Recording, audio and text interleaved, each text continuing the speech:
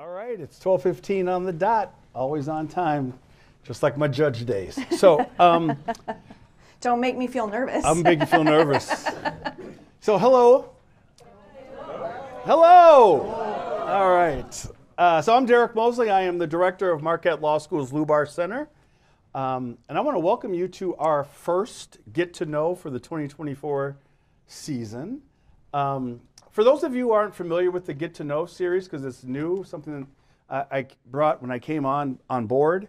Uh, when I was growing up in Chicago, south side of Chicago, there was a, um, a pretty prominent African American newscaster by the name of Harry Porterfield. Um, and actually, Harry's granddaughter is um, Amanda Porterfield at Channel 58 here in Milwaukee. And so uh, Harry used to do these things once a week called Someone You Should Know. And I used to watch those every week, and it would put me in contact with people that I would never have contact with or, or find out what they do, how they affect my life. And I, I loved it. And so when I came here to the Lubar Center, um, Harry passed away last year. And so, as my kind of gift, uh, kind of a, his legacy, I started this Get to Know program where I wanted to bring people in, not only locally, but also nationally, to just to get to know who they are and what they do to affect our lives every day. So, I'm excited today because I get to talk about my favorite subject, which is Milwaukee, with one of my favorite people. Uh, but I want to set the stage a little bit for you if I could.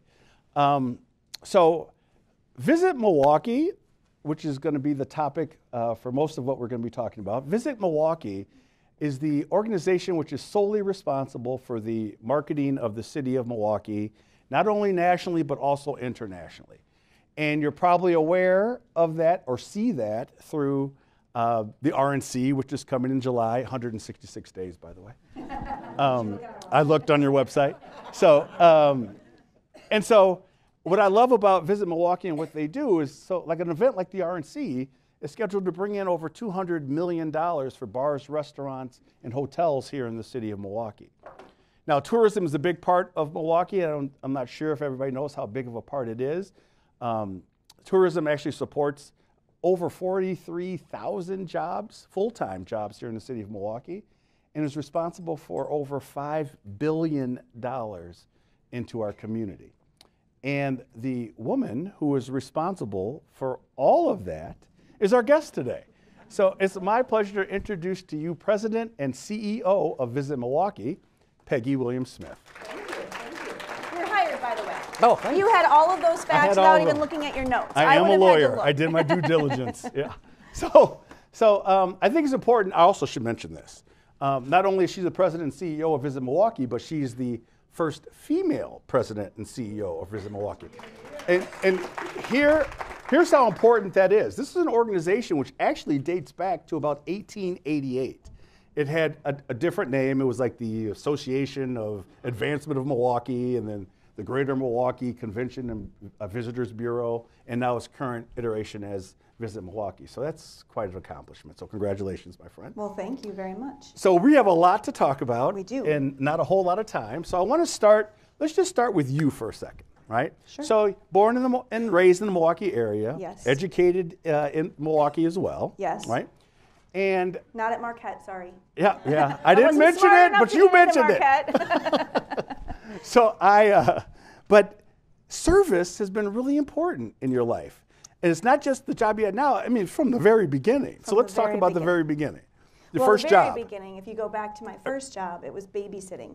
I was in sixth grade, and one of the neighbors had twin girls who were in first grade and a fifth grader, and they didn't think the fifth grader was responsible enough, so I would get picked up at 5:30 a.m., go to their house, feed them breakfast. It was cereal. I can't cook. I still can't cook to this day Well, that goes one of my questions. and then I would walk them. I would walk them to school every morning. So that was my sixth grade year. I think I made like 300 bucks. I spent it as fast as I got it because that's what I do. I wasn't gambling back then, for anyone who knows me, but um, I did spend it as fast. And then my first, my first official W two job was um, Arby's at Southridge.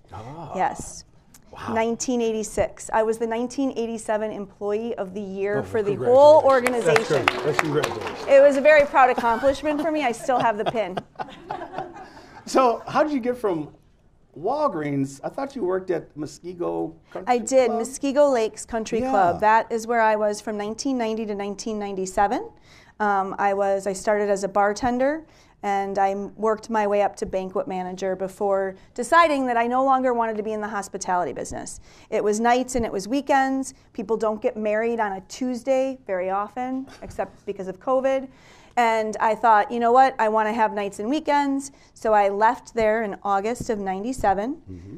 worked in another job for about three months was so bored i picked up two bartending jobs and then got a call from a headhunter to come work for marcus hotels and resorts at the hilton So it brings you to Mar- brings you to Marcus, Yes. the Marcus Corporation, where you were there for quite an amount of time, over two decades 22 years 22 years. Mm-hmm. And at Marcus, you did pretty much everything.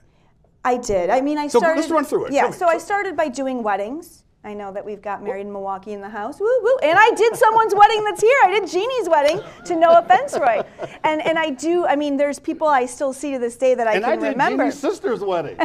oh my goodness! This all, well, I didn't I didn't officially marry them. Oh, oh. No, okay. no. I Sorry. planned the party that went along with the oh, marriage. okay, that was my job. gotcha. So I did weddings for about a year and a half. Then I started doing convention. As a matter of fact, in 1998, when I moved over to conventions, was when we were opening the um, Wisconsin Center, then the Midwest Express Center in 1998, and I was part of the planning team that helped to put on that gala because a lot of the rooms were staying at the Hilton at that point. And then I was a director at the Hilton. Then I moved to the Pfister. From the Pfister, I went to Brynwood Country Club, where I was the general manager. That was the precursor to now the Wisconsin Country Club. I was there for two years. Being a country club general manager is absolutely the worst job in the entire world. I would never do Why? it Tell again. us why. No matter how much you, you have 1,200 to 3,500 bosses. And it's, you know, if you're a people pleaser, which I am by nature, you're never done pleasing people. It was just, it was, it was rewarding. I got to know people that I probably would have never known, but it was 18 hours a day, seven days a week. And it was just the, I mean, I give anyone who does it complete credit because it is a tough, tough job. Now, from there, you decide, well, I'm going to make this jump. There's an opening at Visit Milwaukee, and I'm going to go over to Visit Milwaukee. And so you make that move. Yes. Tell me what year you made that move. I made that move in November of 2019. Okay, so mm-hmm. 2019, Mm-hmm. Yes. December comes around, January 2020. It's the year of Milwaukee. We're hosting the DNC. Got the DNC. We're hosting the National Guard. We've got we've hosting Moose International. Over 12,000 rooms on peak. We are set and ready, locked and loaded. We were just called Vogue's sexiest city by, or yeah, the sexiest Midwestern city by Vogue. I was like, this is going to be easy streets for me. Right. Mm-hmm. And then, What? Did something happen? and then everything kind of fell apart. It did. It fell apart. All right, so so the pandemic starts, right? And so you are an organization which is responsible for hospitality, right? Mm-hmm. Uh, and hospitality grinds to a halt. To a halt. Yeah. So how do you navigate that? But but before I ask, ask you that, I saw this amazing interview about your husband, Tim, Mm-hmm. and how he like recorded a video of you during COVID where you're saying that, oh, we're gonna be all back up and running again and everything's gonna be great. And then I go a day later, he records a video of you saying, uh, well, we're closing for a period of time. So how did you navigate all of that? Well, it started with interviews, right? I started immediately. People wanted to know what was happening in Milwaukee when thi- when things started to close down around the country, around the world. Um, I was on every news station. There's no COVID in Milwaukee. Milwaukee is open for business. We are open for business. There is no COVID. I refuse to let anyone on the team say the word pandemic. If they said pandemic, they got a timeout. and then uh, I would say about halfway through that week, I was on a call from industry, my industry peers throughout the country, and one of them said that San Francisco had just declared a state of emergency. And I was having dinner that night for a fundraiser with our then mayor, Tom Barrett. And I just was making small talk, and I said, you know, as a matter of fact, San Francisco um, just declared a state of emergency. And he's like, that's so they can get federal funds. That's his, that's his first response. The next day, he declared a state of emergency. I blame myself for that. The governor then called me and said, Stop saying you're open for business. You're not open for business. It wasn't the actual governor, it was someone from his office. So the next day, I was on saying, Milwaukee is closed for business. We need to be safe. My husband records everything I do on TV so that when he has a few drinks, he can play it back to me and make fun of me. So that's what he was doing in that montage of we're open, we're closed, we're open, we're closed. But that's tough to navigate, right? So all these big events are coming to Milwaukee. Mm-hmm. You're all set to, to tee them all up, and then everything grinds to a halt. It did. So before we go any further there, tell us exactly in your own words what Visit Milwaukee does. Well, we create economic impact through travel and tourism. That is what we do. That is our entire job. We brand the city, we talk about the city. My team attends over 60 trade shows every single year. We come up with new and innovative ways to talk to different types of customers, whether they be leisure customers, meeting and convention customers, just, I mean, we talk to media all the time, influencers, so that people are talking about Milwaukee in a positive light. Um, you know, we don't sell anything, we don't make anything, we don't, we don't have assets. You are all our assets. And I think that the turnaround point for our city happened when all of you started talking about the good things that were happening in the city. And that really, you know, for all the bad that the pandemic brought to the world, for us, it was a chance for us to reflect on what it is we do and how we make Milwaukee how we tell the story of Milwaukeeans who are making Milwaukeeans a better place. And that is absolutely what we've done for the last four years since that's happened. I remember sitting in the office by myself with a script that was written by Claire, who's here in the back, talking about, oh, I'll start to tear up a little because it was talking about the good things brewing in Milwaukee because everything was closing and we had gone out and we had talked to people who were who had changed their you know liquor distillery into making hand sanitizer and all of those different things and we were able to help share those stories first through weekly webinars which my team absolutely hated me for because it's a lot of work to put on a weekly show every week um, we didn't stop doing it for two years. I think I may have lost some people because of that. Josh came in, he's like, Peggy, I think really we need to stop. Stop now. Josh is also here, so we did. We now do a monthly webinar, but it was it was our way to communicate, have people on, and tell everyone what was happening in the city. And it was to the hospitality community because we had the MMAC who was doing it mm-hmm. on a much bigger scale. They have a much bigger membership, but we had the hospitality community who was affected much differently than a lot of places. They were closed down, they couldn't have people in. These are small businesses. We have over 200 independently owned and operated restaurants in the city of Milwaukee. And I'm not talking, you know, your big chains or your fast food chains. We have not very many big chains. So when you look at how this affected people, it didn't just affect a business, a nameless, faceless corporation. It affected people. Uh, you are a food influencer, you mm-hmm. know. It affected people you knew. And we wanted to be on the front end of helping them to be able to recover. That's awesome. So I, I got off your website. Five over five billion dollars in revenue coming back to the community. Mm-hmm in the grand scheme of Wisconsin, where does Milwaukee, are we the number one driver of tourism here in the state of Wisconsin? We are. Okay. And tourism is the third largest driver of the economy in the state of Wisconsin. Who are the other two? Uh, manufacturing. Oh, I was giving you a quiz. Good. And, manuf- and healthcare, right? It's healthcare. Yeah, healthcare. yeah. That's, mm-hmm. So the three. So in the top three is we are. tourism. And tourism is it's many different things. It takes on many different forms. Not all tourists are overnight tourists. For our organization, we're funded through overnight tourists, so we do place a heavy emphasis on sure. that. But there are people who come in. They may go to three museums. We just finished museum days. They're, they may go to three museums and then drive back home. They're spending money on admission tickets, probably going to lunch, maybe taking, you know, stopping at a, at a boutique, taking home a, a top or a gift for their grandkids all of those things count as tourism. When we talk about the impact of RNC, we talk about the regular things that you would think. Yes, they're going to eat, they're going to drink, they're going to stay in hotels, they're going to meet in specific, specific places. They're also going to print things. They're also going to use transportation. They're also going to use so many other businesses.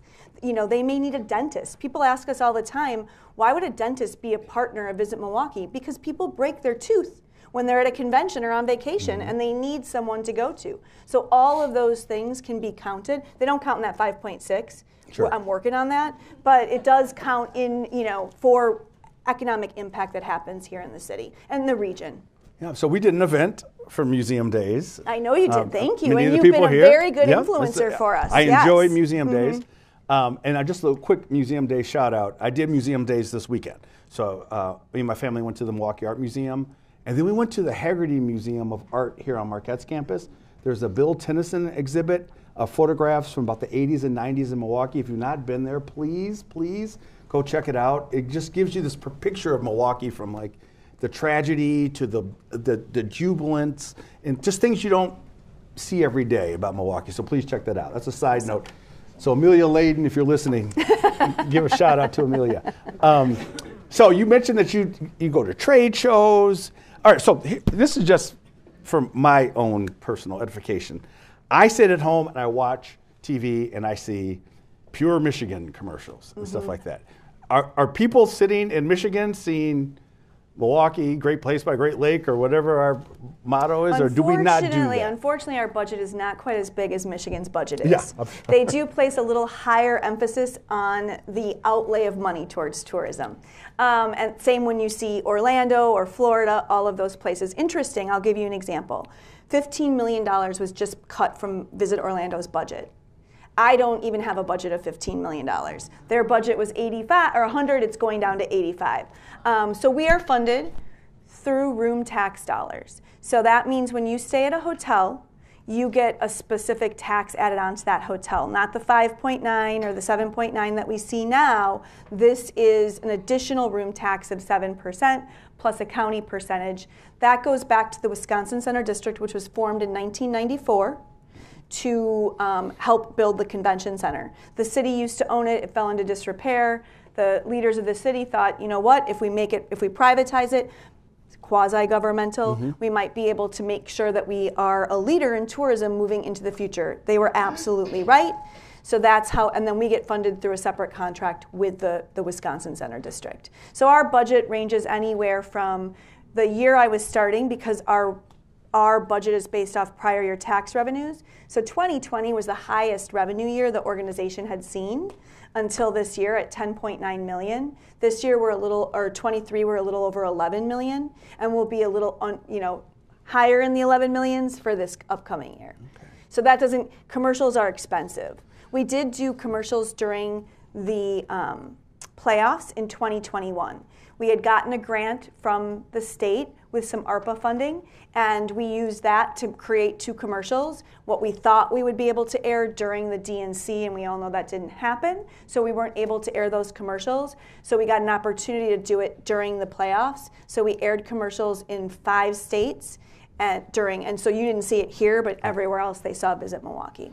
But you did get the message out because there was. Uh, you go onto the website, and I was fortunate to be a part of it. The the Good Things Brewing in Milwaukee. Mm-hmm. Could you mm-hmm. describe what Good Things Brewing? Yeah, absolutely. So, like I said, during the pandemic, we started, we coined the phrase "Good Things Brewing." That there's still good things brewing.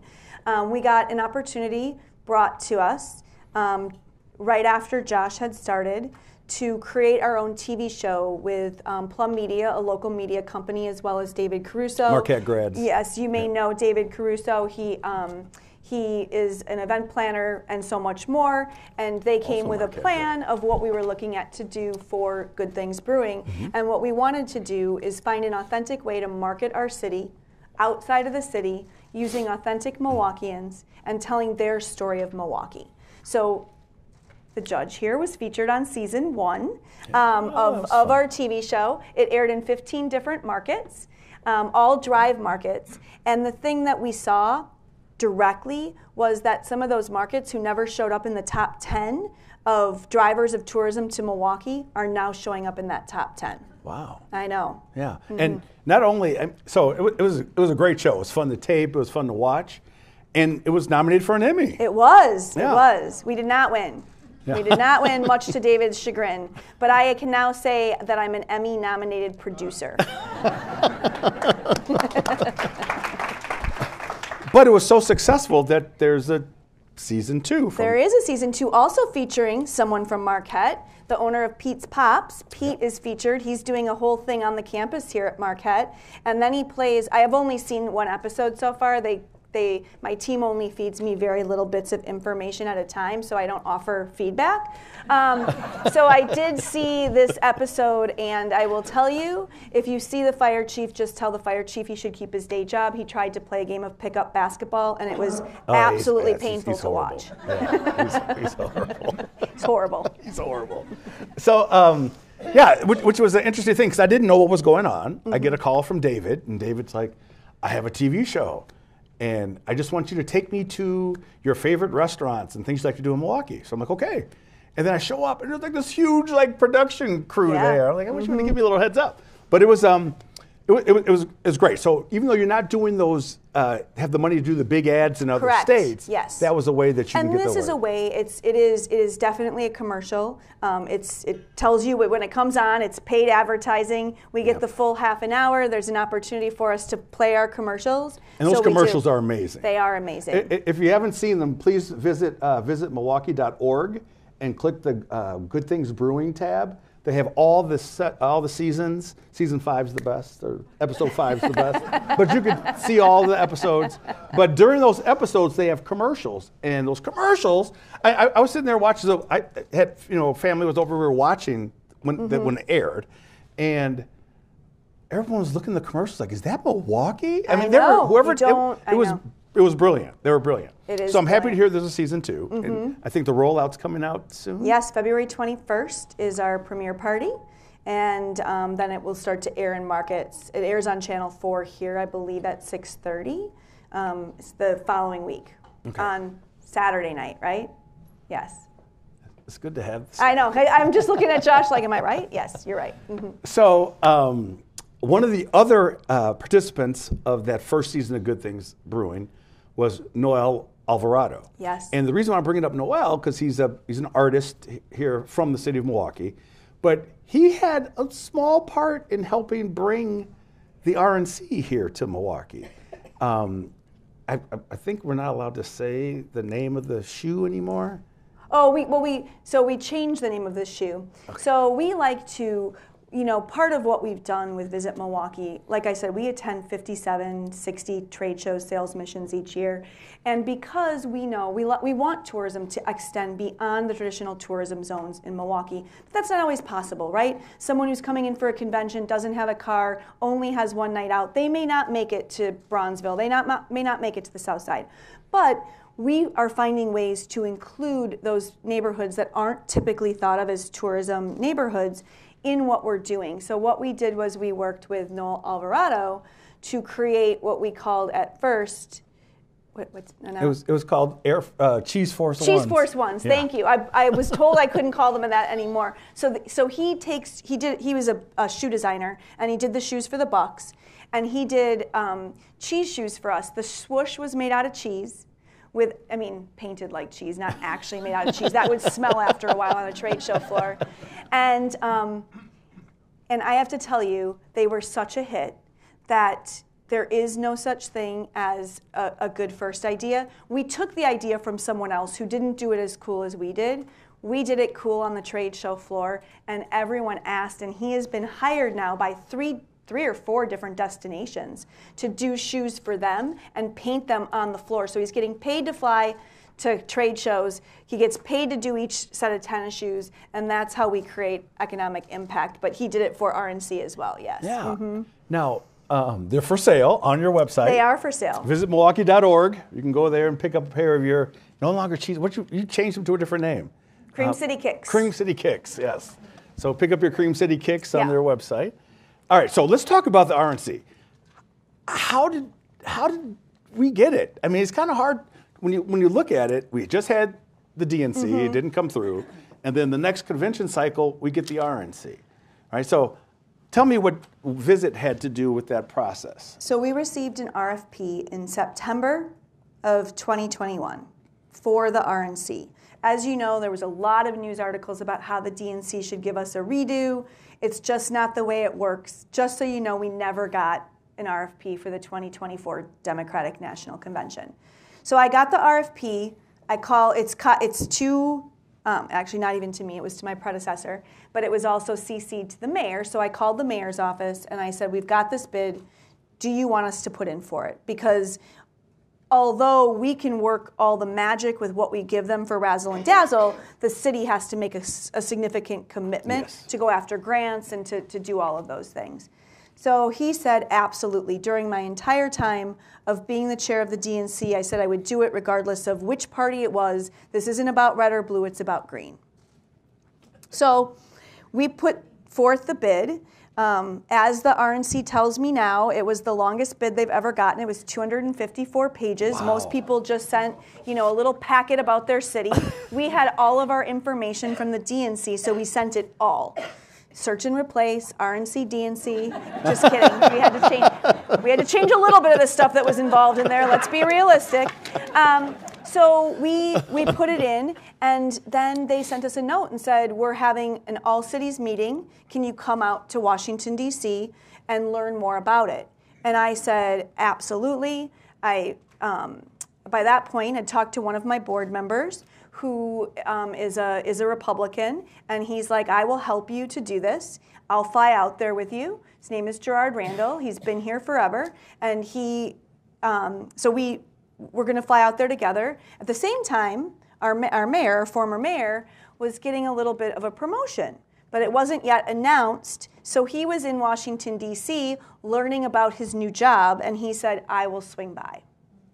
So as we got closer, it turned into this is not a learn about us. This is a we need to learn about you, so you need a presentation. Now, mind you, I started in November of 2019. I went to exactly one show. The world shut down, and I have not yet been to another trade show on behalf of Visit Milwaukee. And now I'm going by myself, and I have to sell the city, and it's been closed for a year and a half. We scramble, we put together a PowerPoint we walk in, there's Houston, there's Oklahoma City. They come with a contingent, their governor. They all have these gifts. I walked in with some sheets of paper and a PowerPoint. I was talking to my counterpart in Houston, and I'm like, What do you have there? He's like, Well, we brought gifts for everyone. I'm like, Oh, okay. so we go in, the mayor talks. He talks, he talks about it being green, that he's a Democratic mayor, that he will open our doors wide open for this event. I get up and talk. I talk about Milwaukee, and then I say, and just so you know, I didn't bring the gifts with you because they because they were too large, but they're being mailed as we speak to your office. Little white lie. They were much better gifts than everyone else brought, and I think that that helped us to win it. Were you wearing Cream City kicks? I was Karen? not. I don't think we had them at this point. We did not sorry. have them at this That's point. We didn't get those until 22. We did. So we did cheese. We did well, and that's the thing. Not uh, we weren't doing a whole lot of research. Everything we did involved coffee. We're the Brew City, coffee or beer, cheese. Um, we used a lot of Central Crafts uh, Standard Distillery to put together packages. We gave homemade, um, you know, custom-made glasses that said RNC. And Ronna McDaniel, who's the chair, is Mormon, and she doesn't drink coffee or alcohol. and we still won. And you still got it. Must tell you a Must- lot about the city. that must tell you a lot about that cheese. yes. So um, now, are you still looking for volunteers? It's 166 days away. It is, and If- we're looking for volunteers. well, anyone the, the hears- host committee is Yep. looking for volunteers, and this is volunteering, nothing political. The convention show floor will be managed by paid people and, and interns that come in from all over the country. This is, you know, giving friendly advice about where they can go to eat, what they can do during their spare time, talking about the city, all of those things. And we need volunteers all the time, as I just mentioned earlier, for Visit Milwaukee. So any if anyone wants a fun job. Our volunteers love volunteering. They love talking to people. They love getting to tell their favorite things about Milwaukee to visitors. But they're like you said, they're essentially ambassadors. They are. Right? It's I mean, ambassadors. They're not doing anything with the convention itself, but they're saying if Right. you want to eat here, go there. Exactly. And so if someone wants to do that, what's the best way for them to sign up to become a There is a volunteer portal on mkehost2024.org. And that is where you can go, put your name in, and they'll start reaching out to volunteers um, probably sometime in mid April, I would say. You told an interesting story. Uh, I, you probably don't know that I knew this, but um, you were talking about other, I think it was Nashville maybe, Mm-hmm. but there were other cities who were putting their pitch on for the RNC, and they were getting like negative about Milwaukee. Like it was cold or it was. You know, It was, yes. So Yeah. when so we did so that was we didn't win the convention after that one pitch. So um, we in February of 2022 went down. We did a first did a site tour here, which was so many different people throughout our community who were instrumental in making it happen. Paul Bartolotta did a wonderful dinner. The mayor was now Cavalier Johnson. He was fantastic. The fire chief, the police chief, everyone came together to talk about how we could put this on and how we could pull this off. And then we went to Salt Lake City to pitch in front of the entire delegation, 168 delegates of the RN, uh, or members of the um, RNC. And we didn't talk about the other cities. We just talked about everything that Milwaukee had to offer. Huge screen, about as big as the wall behind me, showcasing flying in over Milwaukee, over Lake Michigan, into the city, the wings of the Calatrava open, you name it. And the other cities focused on bashing us and talked about the negatives that it would be not that it would be cold obviously because the convention would take place in the summer but how cold it is and, and the negatives and you know i think that they went low we went high the result is here yes Yeah, perfect, perfect. So we talked about a lot of the things that uh, Visit Milwaukee does, but I don't think, at least I didn't know, how many people are actually employed by Visit Milwaukee. we're almost back to 40 so we were at 50 prior to the pandemic we went down to 24 and now we're working our way back up to 40. Mm-hmm. Perfect. And so that group, that mighty 40, Yes. um, puts out amazing content. I know you mentioned Josh a couple of times. Josh has like as Josh and Josh little thing Josh and. Around a podcast, Yeah, it's yes. Mm-hmm. amazing. It's, it's, it's amazing. So please check out visitmilwaukee.org. Um, but you did a video or videos with Bobby Portis yes which if you haven't seen these videos, please take the time to watch these videos. He's hysterical, first of all. He is, and but our team writes a lot of this content. It's Oh, so really. The it's, team's It's really the, it's Oh. really the team. It, it, it, the team is hysterical. They wanted to do this. You know, the partnership with Bobby Portis is interesting, and it shows um, that you can make the wrong decision and and have people who fight for it, and then it works out for the positive. You know, um, it's coming out of the pandemic. I think I was a little more conservative than I probably should have been in terms of the money we were spending. It was my first time leading an organization. We went from all this money to no money and every time we were spending money i was signing every check right like every single check that goes out or every expense i approve. And as my husband will tell you i'm not very good at my own checkbook. I can't believe they put you in some in charge of someone else's. So i I I was it was a huge investment and I was not sure that Bobby was the right person. I think Bobby's great. I think everyone in Milwaukee loves him. He's definitely Milwaukee's sixth, man. He's our hype man. But I wasn't sure that investing the money in that partnership was smart. I went home. I watched Sports Center. I didn't see him covered. I'm like, I think we should have Giannis. And Josh said, Well, that's going to cost you a lot more than this is. So I don't think that's going to happen. So I, I said, I'm just not sure. And he's like, We should do it and we did do it and it has brought you know it tests well with meeting planners who don't even know who he is because of the way that we feature him in the content that we're showing. So i think that it's it's the team that does it. Claire and josh's team are amazing. They spend a lot of time making sure that we're showcasing milwaukee in the best possible light. As witnessed if you're not following us on tiktok or instagram reels you need to. They are hilarious. Um, and the Bobby Portis video, this most recent one, I've gotten notice, notes from people all over the country saying this is brilliant. Well done. Well Mm-hmm. Yeah. done. So I um I get Nat Geo online, and one of the craziest things ever is I'm sitting at the computer. My I was on my phone. It's on my phone. I'm going through Nat Geo, and it's like these are the most amazing places that you should visit in 2023. And I'm going through. I'm like, oh, Peru. Okay, cool. And Switzerland. yeah. Milwaukee. Milwaukee know. popped up. Tell me about the Nat Geo Best Place to Travel in 2023 award. So I think that people don't realize how often we have travel writers in. And Claire, who's in charge of comms, had met with this travel writer, and this it, it, he didn't come to write a story on Milwaukee. He came because he was doing a book. And sometimes you, as they explained to me, you have to play the long game. So she went, and it was obviously during the pandemic, but it was during the playoffs when the Bucks were won the world championship in 2021, and she took an entire day showing him everything in Milwaukee. America's Black Holocaust Museum before it was even open, like was able to showcase the diversity and the culture throughout the city. And then, um, you know, you forget about it. He's writing a book, not nothing's going to come out of it. Well, he got invite, invited to pitch for National Geographic. My husband hates Nat Geo because we would all say it, and he would listen sometimes on conference calls, like Nat Geo. Um, so that whenever someone says it, he would be like Nat Geo. Um, but it was, it, it was. Claire came to me. I want to say in August, and she's like, I think we're going to be in the top 25.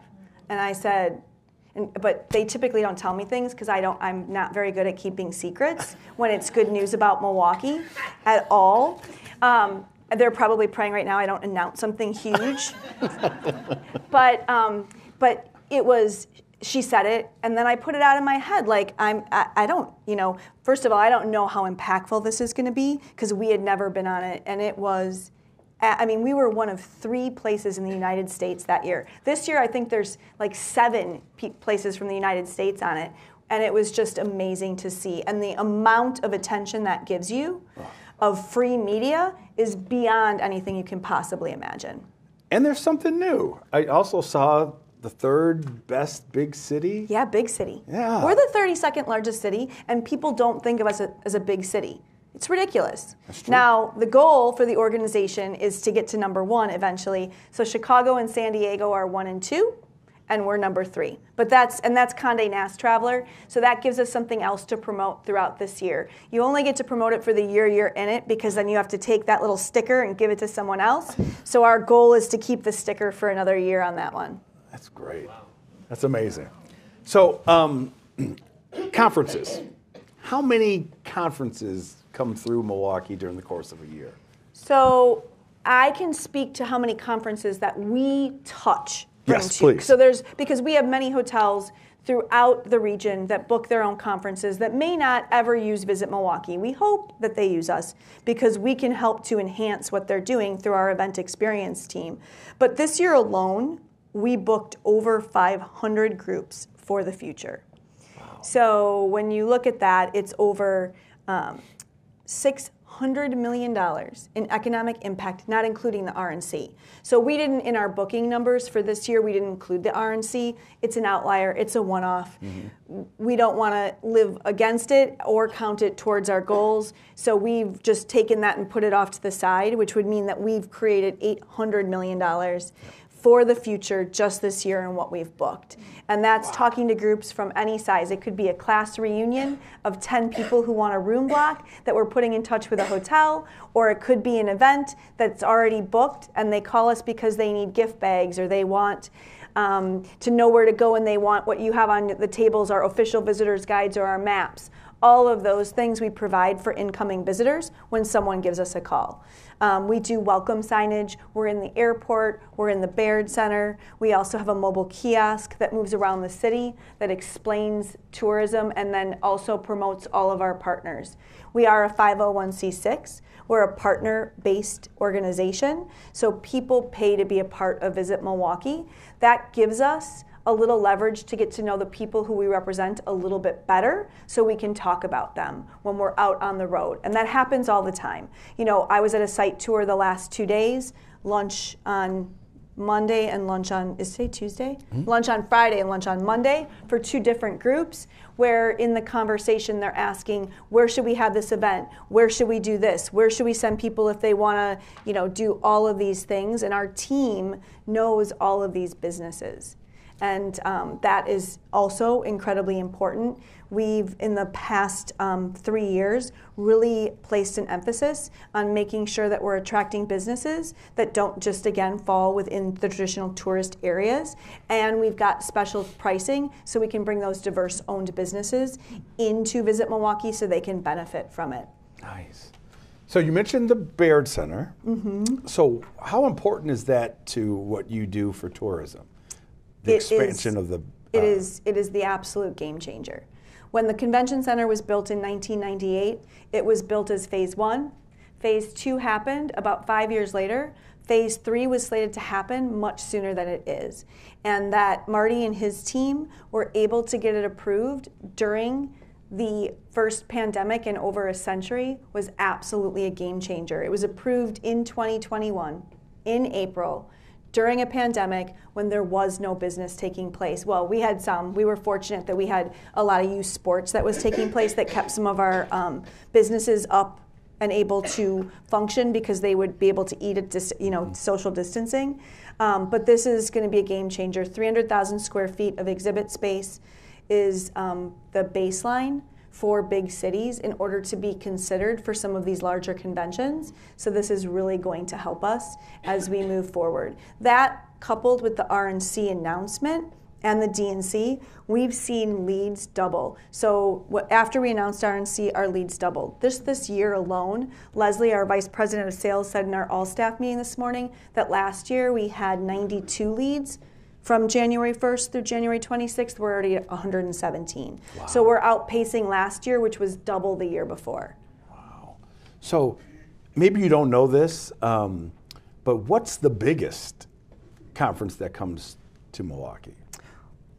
Well, I mean, so there's As conferences and events, Or right? events. There's events. conferences and events. So the RNC is going to be 45,000 people.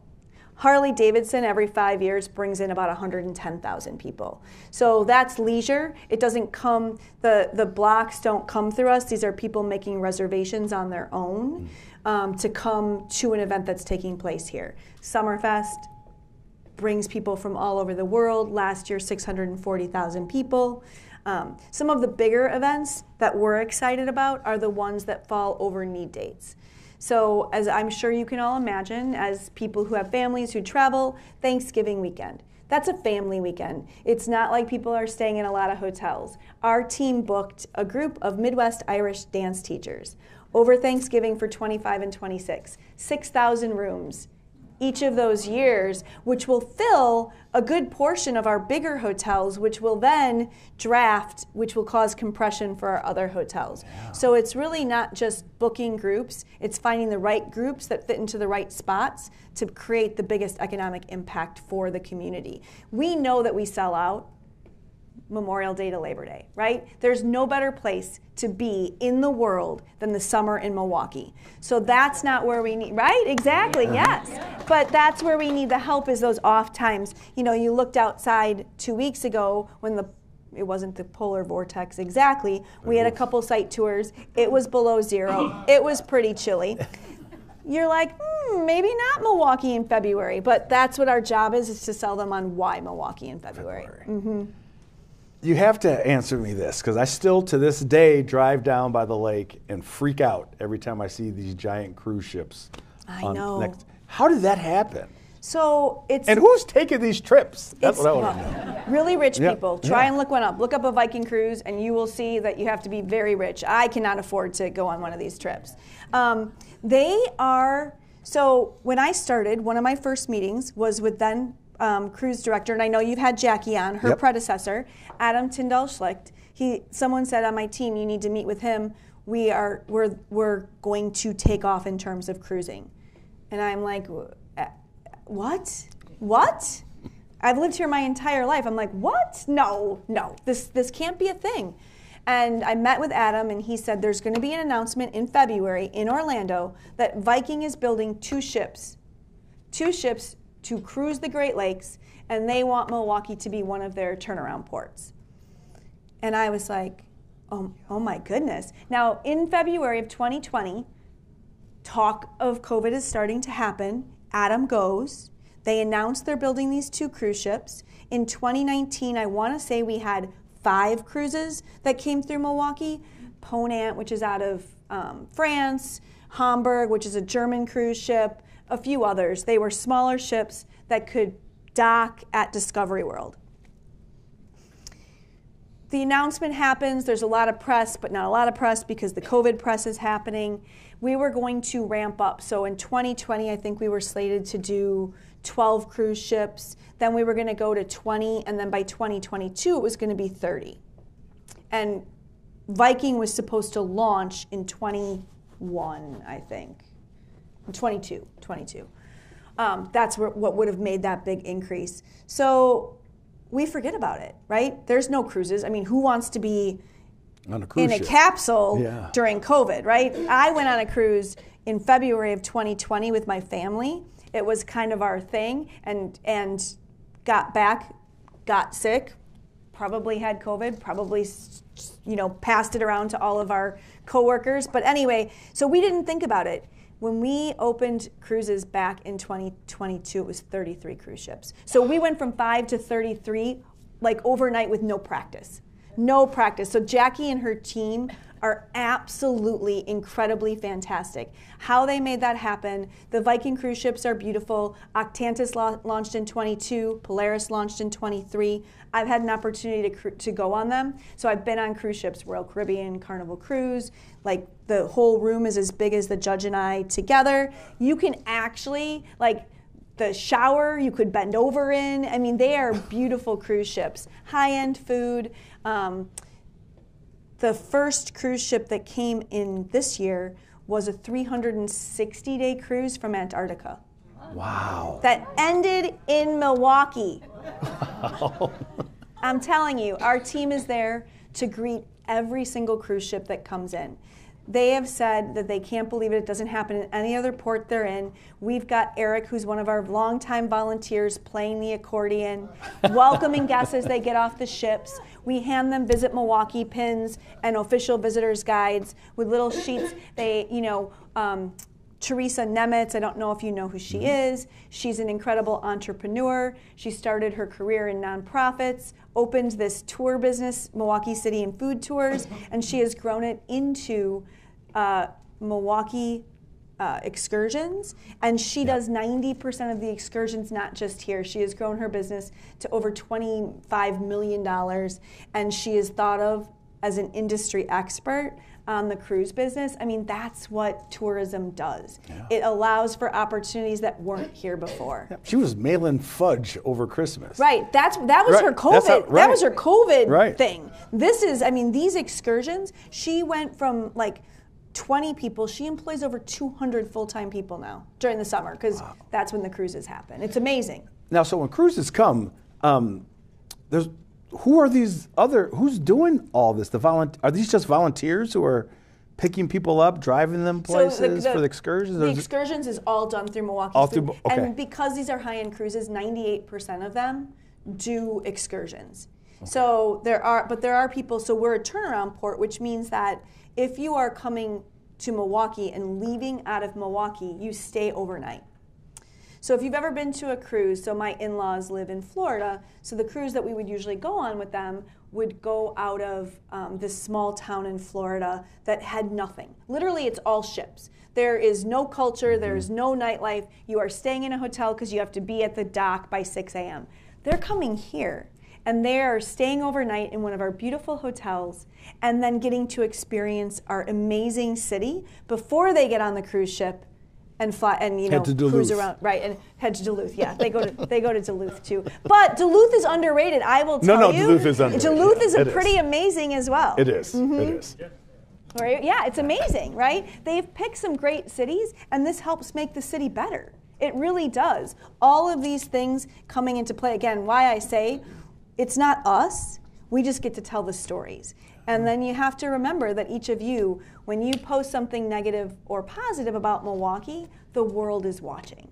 It really is. And I think that that's been one of the big turnarounds for our city is that people are speaking well about our city. It's not as often that I'm seeing all of the ne- negativity. Yeah, there's still issues and we need to work on those issues, but you're seeing much more positive as we go through this. As we as I see it all the time. We subscribed to a um, a social media scraping company for a little while. It went out of business. We're trying to find a new one called TSI. So they scrape every social media site plus all media to see what people are saying about your destination, good and bad.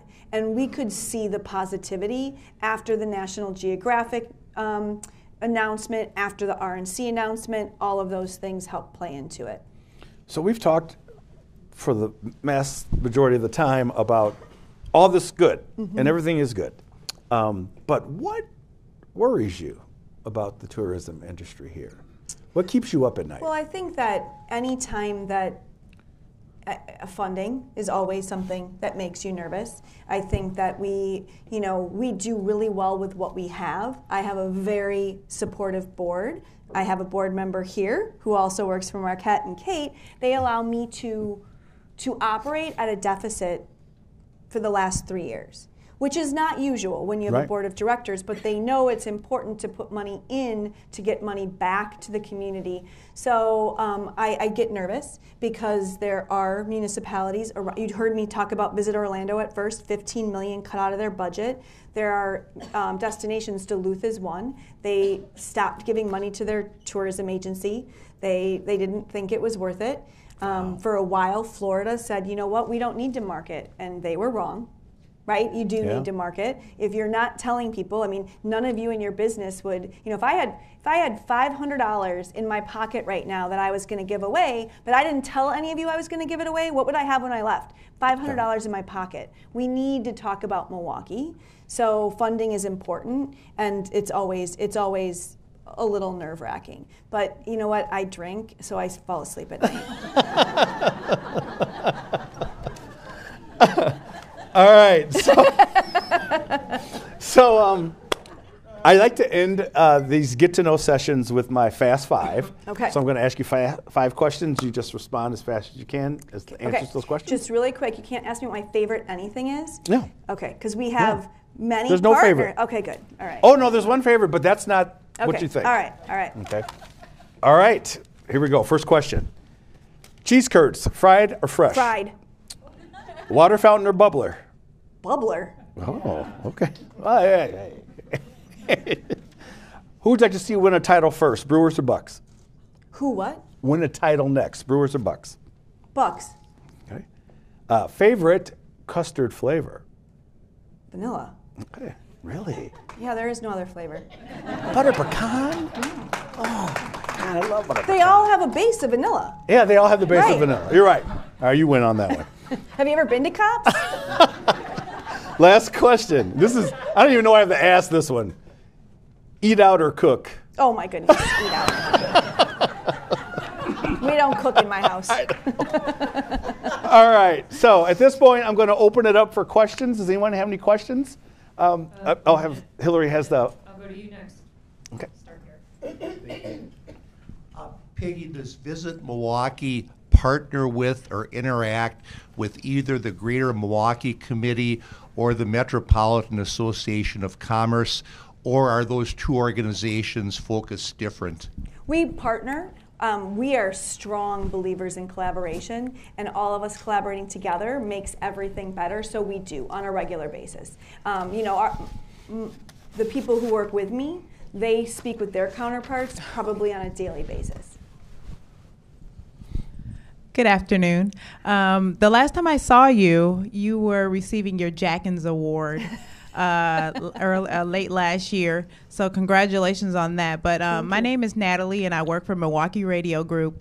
And who do I talk to to get you on all five radio stations to share all of what you just shared about the city of Milwaukee? talk to Claire in the back. Claire, all right, and Claire, I'm coming Milwaukee to see radio you. Radio Group. I've known Bill Hurwitz forever. We actually put the radio broadcaster, Wisconsin Broadcasters Hall of Fame in the Hilton when I was still with Marcus because Bill was the head of the organization back then. Awesome. Well, and Willie Davis. I know Willie Davis yes. as well. Yes. Yes, ma'am. Yeah. So Jeannie. Oh, we want we gotta get you the mic. We got something right behind you, real quick. Yep. Oh, Hello, my name is Benjamin Jackson. Hi. Um, I'm at, um, I, I don't have a question, but I just wanted to, uh, just to let you know, Peggy, uh, whenever you get the chance, tell Ine Lee and Alexander that they're doing an amazing job. oh, thank you. I certainly will. They're, both of their bosses are here right now. Jeannie and I did one of the first conferences together. So back in the day, 1999. 1999. She was brand new, had never planned a conference, and we were working on the Howard Fuller event. It was called BAO. Yes, the Yes. Black Alliance for Educational, Educational Options. Exactly. Yep. That was one of my first full conferences that I did with and Jeannie. you you did a great job. So th- and thank you both, um, Peggy. Really appreciate this. I do not mean to be a Debbie Downer. I'm interested in um, you know uh, Judge Mosley asked you about what keeps you up at night. What are you worried about?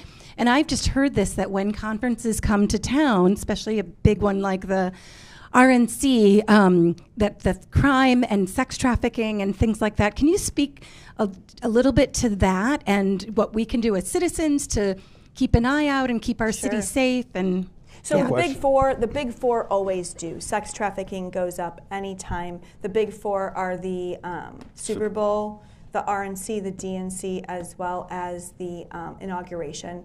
Um, I know that there's a plan in place. We have great people who are working on the things that we need to do to prevent that. But I think it's if you see something, say something, because that's going to be incredibly important for any any time frame, right? We are. Um, unfortunately, in the top of sex trafficking. So it's something that I know that the Greater Milwaukee Hotel Lodging Association and the WHLA work with on a regular basis to make sure they're educating the hotel teams to understand what to look for to make sure they can stop things when those when those things are happening. When you talk about um, crime, I mean, when we hosted the debate, we saw very little crime, very little anything during that time frame when they were here. So I think with the increased amount of security, I don't think crime goes up. I know that there's going to be protests. I have every faith that we'll work together to have peaceful protests in the areas that are reserved for those things. Um, so that's that's it's that's not keeping me up at, at night right now because I have the trust in the security that we have here that will make things good.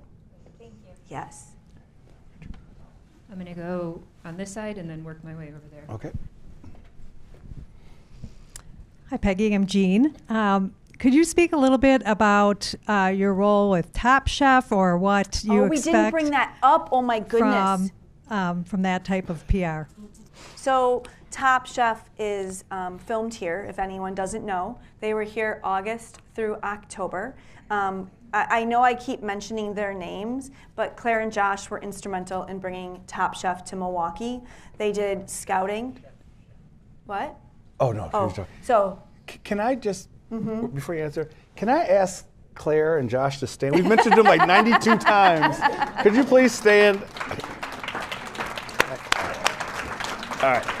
So, so this conversation started in 2020. Like many conversations started, Paul Bartolotta came to us, or he actually went to the MMAC first, and then to the Department of Administration. It was Joel Brennan back then, so working with Joel on Greater Milwaukee Committee, and said, "How do we get money to bring this together?" I was so new at the time; I had no input to give. Pandemic happened. They didn't film that year. They tried to come back to us in 2021.